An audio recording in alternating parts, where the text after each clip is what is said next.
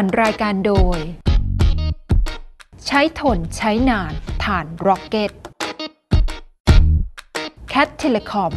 สุนทรียภาพแห่งการสื่อสาร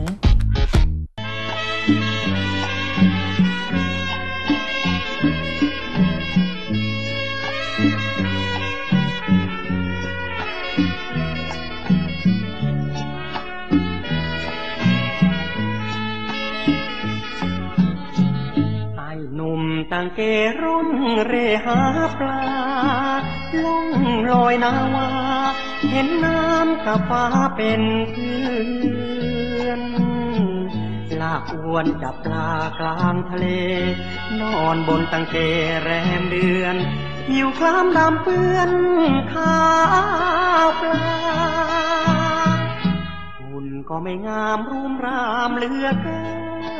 น สาวแลก็ เหมือนเธอเทินไม่หันเอาละค่ะคุณผู้ชมค่ะตอนนี้นะคะนิกพร้อมอาจารย์ศรีนิน ซึ่งปลอมตัว มาเป็นคนขับเรือให้เราใช้ได้ใช้ได้ไหมอ่าใช้ได้โอเคทีเดียวนิ่มนวลทีเดียวนะคะ อาจารย์ค่ะพานิกไปเที่ยวไหนเนี่ยตอนเนี้ยตอนนี้เหรอตอนนี้เป็นในในในคลองครับผมเป็นอืมเป็นบ้านผมเองแหละว้าวครับอดีตเราจะพามาว่าไอ้ในคลองเนี่ยมันมีจานดาวเทียมเยอะนะโอ้โหดูเห็นไหมสิครับ ก็คือคลองที่เนี่ยส่วนใหญ่ก็คือเขาจะทำอาชีพประมงอยู่แล้วใช่ไหมใช่ครัคะบผม โอ้แต่ละบ้านเขาก็จะมีเรือตังเกของตัวเองอยู่แล้วใช่เออแล้วก็สังเกตจะมีรือเป็นลำๆเป็นแยกใช่ๆแล้วเราสังเกตใช่ว่าเราจะมีจานดาวเทียมอยู่ถูก อ่าอืมอันนี้คือเป็นลูกค้าที่บ้านทั้งหมดเลยโอ้โหนูนนูนนูนอับ้านที่นูน้องนชายก็ทำเนี่ยอ่าเป็นจานอ๋อน้องชายอาจารย์เลยเหรอคะ ใช่ครับผมเขาก็มาติดในนี้ งั้นแปลว่าในพื้นที่เนี้ยก็คือจานดาวเทียมของเราหมดเลยสิลูกค้าใช่บเราหมดเลยใช่ครับลูกโอ้ค้าเราหมดเลยยตายแล้วเพ ราะว่าในลักษณะของของจานเวลาติดตั้งเนี่ยมันติดตั้งง่าย แถวนี้จะไม่ได้คิดอะไรมากใช่ ขอให้ติดตั้งแล้วก็สามารถที่จะเอาเอาสัญญาณเข้าไปดูที่คลื่นทีวีได้อะไรได้แค่เนี้ยใช้ได้แล้ว โอ้แล้วดูสิคะคุณผู้ชม เป็นบ้านติดติดติดติดกัน แล้วใช่ บ้านแต่ละหลังเนี่ยก็คือติดจานดาวเทียมหมดเลยใช่ครับนะผมคะ ต้องบอกว่าเกือบ 99%ที่เป็น PSI 99%ใช่เป็น PSI นะเสาอากาศมีบ้างนิดหน่อย แต่เชื่อว่าต่อไปเนี่ยจะเป็นลูกค้าของอาจารย์ใช่ครับผมอ่าน้องชายก็จะมาติดนะคะอุ้ยก็แต่แล้วแล้วอันเนี้ยคือหมู่บ้านเนี้ยเป็นหมู่บ้านเดียวกันหมดเลยปะคะอันนี้เป็นหมู่บ้านอีกเอ่อเขาเรียกหมู่หมู่ห้าฝั่งนี้อ๋อหมู่สามอ๋อครับทั้งสองฝั่งเนี่ยคือจริงๆเป็นพี่น้องกันนี่แหละอ๋อนะครับผมแต่พอมาพอมาการใช้ชีวิตแยกออกจากกันห่างค่ะออกจากกันไปเนี่ยเขาก็ เขาจะเหมือนอยู่คนละฝั่งฝั่งนี้อ่าแต่งงานฝั่งนี้ข้ามไปฝั่งนี้กันอะไรอย่างเงี้ยครับผมเหมือนสองฝั่งคลองนะเออนะสองฝั่งคลองเสองแต่ที่นี่ฝั่งเป็นคลองทะเล ตรงนี้เป็นคลองออกไปทะเลเชื่อมต่อกันครับผโอ้มเดี๋ยวเราคือกำลังจะมุ่งหน้าไปทะเลแหละใช่นะครับตอนนี้อาจารย์คะเราจะครับแต่นิกนิกสังเกตเรือบางลำอะไรเงี้ยเขาจะมีธงด้วยอะค่ะ อย่างเงี้ยเนี่ยของเราเนี้ยอันนี้เขาจะไปคืออรลงไปลงอวนลงข่ายเขาเรียกอ๋อลงข่าย นะครับ เออ ก็ไปทิ้งเสร็จแล้วก็ไปไปไปทำธงแต่ละสีไม่เหมือนกัน เออใช่ เพราะว่าถ้าเกิดเหมือนกันเนี่ยเดี๋ยวเวลาเก็บก็เก็บของคนอื่นไปด้วย อันนี้ก็ไม่ไม่มั่วกันไงก็แยกกันเออเออแต่อ๋อแต่ก็ไปของใครเอาเอาไว้สีแดงสีเขียวไว้ตรงไหนก็เล่นกันเองเอ้ยครับผมนะนะ ตามข้อตกลง อ๋อใช่เขาจะมีตกลงกันอย่างครับนี้ผด้มวยใช่ครับโอ้เพราะอุว่าดมมันสจะมต้องบูรณ์มากไม่งั้นเดี๋ยวเวลามันจะต้องทะเลาะกันไงเรื่องเรื่องพวกนี้ ใช่เราสังเกตว่าบ้านบ้านที่นี่ ทุกหลังอะที่ติดจานเนี่ยใช่เสาจานจะต้องทะลุหลังคาลงไป เออทำไมอะเพราะว่าไม้ข้างล่างมันจะมีไม้แปรอยู่อ๋อเวลาเขายิงเสาลงไปเขาล็อกกับไม้แปรมันง่ายไงครับเจาะเสาเลยยึดเลยเรียบร้อยเลยได้เลย คือวิธีการเนี้ยจะเป็นการติดตั้งที่ง่ายที่สุดใช่แล้วมันครัโอบ เคที่สุดเลยใช่ครับโอ้ดีจังเลยอะอันนี้ออกทะเลละอุ้ยใกล้ถึงแล้วอะเนี่ยทะเลกว้างใหญ่มาก เดี๋ยวเราออกจะออกทะเลกัน ๆ ก่อนที่จะออกทะเลเนี่ย เราคุยกันก่อนดีไหมคะ ดับเครื่องดีกว่าเนาะโอเค จะสังเกตเห็นว่าตรงเนี้ยคือเหมือนปากอ่าวใช่ไหมคะใช่ครับ ที่เรากำลังจะมุ่งหน้าออกทะเลแล้วนี่เป็นอ่าวเป็นทะเล โอ้แล้วแล้วแถวนี้มีเป็นหาดสำหรับแบบท่องเที่ยวด้วยปะคะ มีครับ มีตรงด้านหน้าที่ออกไปตรงนี้จะเป็นเป็นเป็นหาดนะครับผม อืม เป็นเป็นหาด แล้วก็ตอนนี้เป็นของเอกชนละ เอ้า เมื่อเมื่อก่อนยังไม่มีผู้จับจองก็ ค่ะ ก็เรา เขาก็จะปล่อยเป็นที่สาธารณะเป็นอะไรไปอืมแต่พอเดี๋ยวนี้พอเป็นของเอกชนปุ๊บก็ทุกคนก็มาลงหินลงไหลกันดินถล่มอ๋อก็แสดงเป็นอาณาเขตตัวเองอ๋อแต่การทำอย่างนี้ยบางครั้งเนี่ยถ้าเราพูดถึงทางหลักทางเขาเรียกว่าทางทัศนียภาพใช่ไหมค่ะมันก็ไม่สวยละอืมหาดทรายหายไปใช่เพราะว่า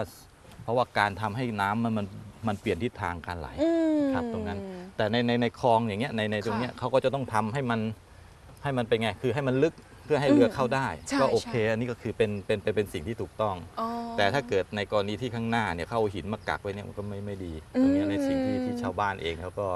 เขาก็เสียผลประโยชน์ตรงนี้ค่ะงั้นไปเหมือนกัตรงนี้คือปกติเป็นคลองเดิมอยู่แล้ว แล้วเขามาขุดเพิ่มหรือว่าขุดใหม่เลยยังไงคะ อืมจริง ๆ เป็นคลองเดิมครับ อืมแล้วเขาก็มาขุดเพิ่มเพื่อให้ทะลุออกอ่า เพื่อเป็นเรือบนเนินคล่องขึ้นอย่างเงี้ยครับ อ๋อ แล้วก็ใช้ทำสะพานสมัยก่อนเป็นสะพานไม้เดี๋ยวนี้เป็นสะพานปูนหมดแล้วค่ะ ครับ แล้วหมู่บ้านแถวนี้เนี่ยก็คือจะเป็นหมู่บ้านที่ติดคลองอย่างนี้เลยหรือเปล่าคะ หรือว่ามีแบบไหนอีกบ้างอะคะ อ๋อ ก็จะเป็นหมู่บ้านชายหาดด้วยติดชายหาด อ๋อผมผมจริงๆแล้วผมเองเนี่ยเพิ่งมาอยู่ตอนตอนที่หลังที่มาอยู่อ่า ในคลองเนี่ยค่ะ ครับเมื่อก่อนนี่อยู่กับชายหาดเลยติดกันครับผมอืมก็เป็นชาวเลเว้ยเป็นชาวเลแต่ไม่แต่แต่ไม่ได้ใช้ชีวิตชาวเลสักเท่าไหร่นะไอ้ไม่ได้เป็นใช่ชาวสิเลไปเป็นชาวกรุง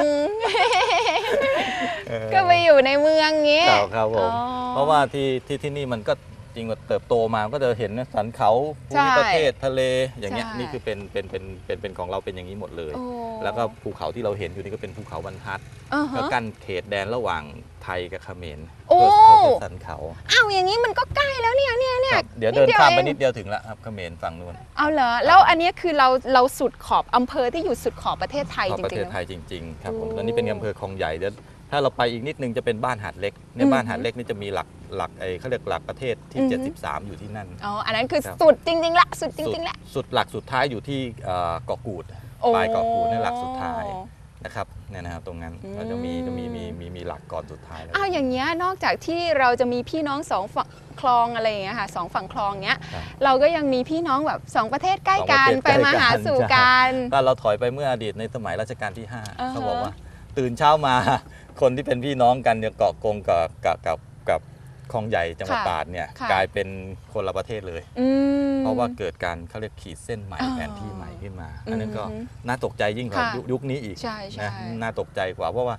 ความเป็นพี่น้องอยู่ดีๆ ถูกแยกกัน อืม ที่จริงเราเองเราเราเราก็ถูกถูกถูกแยกอย่างเนี้ยค่ะ ครับ แต่ตอนนี้ก็เริ่มสารเริ่มสามัคคีกันมากครับขึ้นกลับมานะเหมือนเดิม อยู่กันแบบพี่น้อง ใช่ แต่ทีนี้เรื่องของธุรกิจจานดาวเทียมเรา เราก็ไม่ได้แบ่งเขตเหมือนกันนะ ไม่ได้แบ่งเขตเพราะข้ามไปขายได้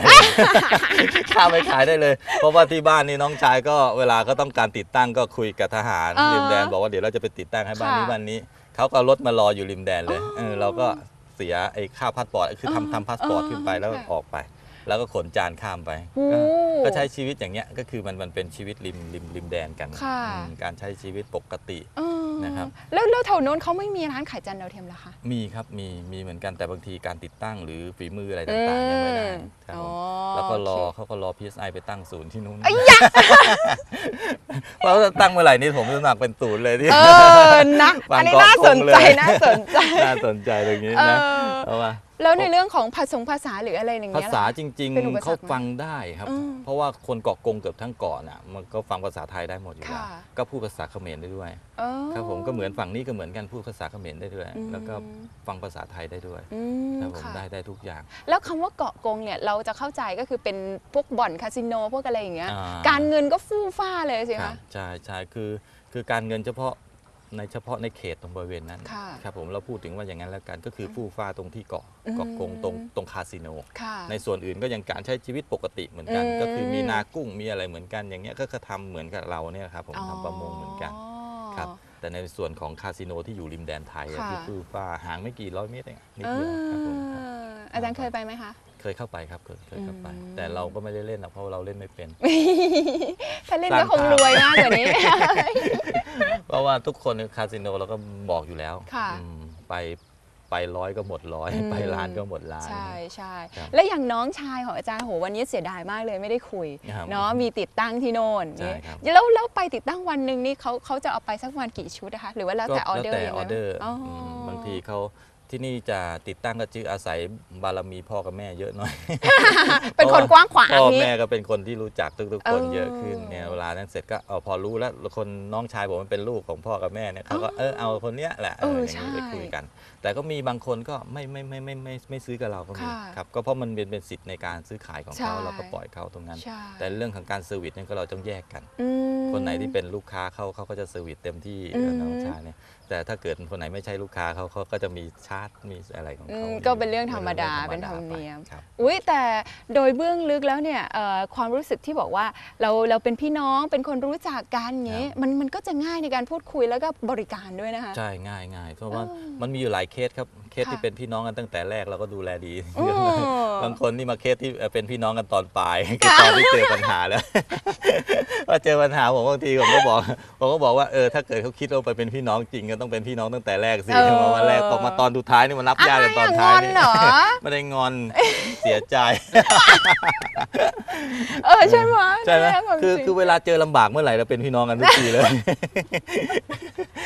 เอ๊ะหรือบางทีตอนถูกหวยอย่างเงี้ย เออถูกหวยเออถูกรวยนี่มาอย่างงี้พอถูกหวยรวยมานี่ไม่มีพี่น้องแล้วเออไปแล้วไปกินคนเดียวเลยเออเหมือนกันอะก็ว่ากันไป ว่ากันไปนะเออ อันนี้คือความพิเศษนะคะสำหรับความเป็นจังหวัดตราดนะคะใช่จังหวัดติดขอบชายแดนเลยนะคะ ตอนนี้เนี่ยเราก็ได้ชมบรรยากาศอย่างเต็มที่สูดอากาศบริสุทธิ์เต็มปอดแล้วนะคะ แต่เดี๋ยวนิกจะขออนุญาตข้ามไปที่เกาะช้างค่ะอาจารย์ค่ะ อ๋อได้ มาจังหวัดตราดทั้งทีเนี่ยที่เที่ยวที่โดดเด่นก็คงจะเป็นเกาะช้างด้วคยรับใช่ใช่นะเกาะช้างนี่เป็นเกาะที่ใหญ่ติดอันดับสองของประเทศ โอ้โหน่าสนใจมากใช่ไหขึ้นอีกแล้แล้วว ก็เป็นเป็นเกาะที่มีน้ำมนต์ด้วยนะ มีน้ำศักดิ์สิทธิ์อยู่บฮะนบนน้ำตกที่จริงมาก อ่าเขาเรียกว่าน้ำตกทานมะยม โอ้โห นะครับ ที่ใช้ในการทำเขาเรียกว่าเคยเคยฟังเรื่องของการอ่า ทำสัตว์ปฏิญาณค่ะในการที่โอ้โหได้ทำที่นั่นโอ้โหถ้ามีโอกาสได้นิกจาจะกพาอคุณดีตผู้ชมนะคไป รับลองไปดูนะครับ หรือถ้าให้ผมขับเรือพาไปก็ได้นะเนี่ยโอ้ยบ้าเดี๋ยวเองเดี๋ยวก็ถึงนิดเดียวนิดเดียว ไม่เอาเดี๋ยวผมพาไปดีกว่าเดี๋ยวนิกไปข้ามเฟอร์รี่ดีกว่าอ๋อจะข้ามเรือเฟอร์รี่อืมอันนี้เฟอร์โรโลอันนี้เฟอร์รารี่โอเคไม่ไหวไม่ไหวอ๋อนอกจากที่นิกจะพาคุณผู้ชมไปเที่ยวแล้วเนี่ยเดี๋ยวนิกจะพาคุณผู้ชมไปคุยกับเพื่อนช่างที่อยู่บนเกาะช้างด้วยโอ้ได้ได้ที่ที่นั่นที่นั่นมีช่างหลายคนน่ารักเอ้ยเออไปที่นั่นนะอบอุ่นรับรองเดี๋ยวก็พาไปดำน้ำดำไหนได้ด้วยโอเคช่วงนี้ขอบคุณอาจารย์ศรีนีนะคะขอบคุณค่ะครับผมครับลาไปแล้วค่ะสวัสดีค่ะไปอาจารย์กลับบ้านกันดีกว่าค่ะโอ้เดี๋ยวเดี๋ยวเดี๋ยวเดี๋ยวผมดูอันนี้ไหวไหมเนี่ย เฮ้ยอาจารย์มันติดมันติดทำไงอะอ๋อมันยกขึ้นแล้วยกขึ้นแล้วโอเดี๋ยวเคแม่ใจเย็นๆรอดรอดรอดรอดเนี่ยนี่ติดจะพาไปเครื่องเกาะช้างเลยโอ้โหเอาแจกไม้พาย ไม่ไหวไม่ไหวแม่มาโอ้ยยังกำลังยังดีอยู่ไปเลย